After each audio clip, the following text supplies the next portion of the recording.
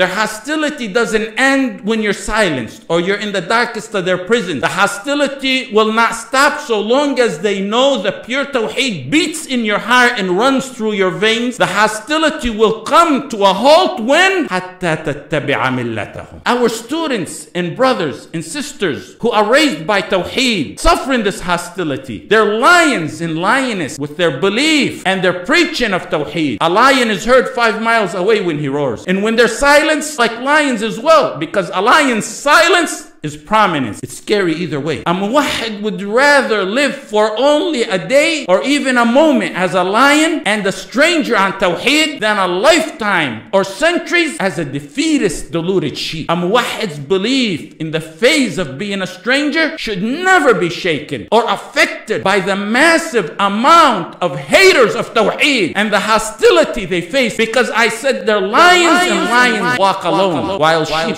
graze together. When alleged Muslims Muslims revolt on their own lions, when they revolt on the lions of Tawheed, wherever they may be and wherever they are, expect, nothing, other than the dogs of the enemies to snatch them. And that's the reality of today. The Ummah of Kufr will always collaborate against pure Tawheed and the Muwahideen. You see countries with internal feuds. They have different parties and dissidents. Nations are always quarreling and competing with each other and they're at the brink of wars. Rafida have their feuding sects, the Murji'ah, and their abounding internal divisions and their wimpish bickering. Various people of Bid'ah constantly quarreling with each other. Their malice for each other is intense. All of their hearts are diverse and at odds. There's constant hostility between them. Their beliefs, their ideology, their aims, their goals, their religions, they're all different. You will never see them unite except on the pure, true muwahideen wherever they are and wherever they may arise. It's tawheed they have an issue with. Tawheed is amazing. When taught, it has an astonishing effect. When the pure hearts hear tawheed, their hearts quake and tremble with awe. They feel a tremor in their hearts and it increases their faith. Tawheed also shudders and repels the filthy, polluted heart. It hurts them and fills their hearts, their guilty, disgusting hearts, with more disgust and horror. It makes their hearts contract and shrink with bitter aversion and resentment. Allah Jalla fi'ula told us that and it's insha'Allah one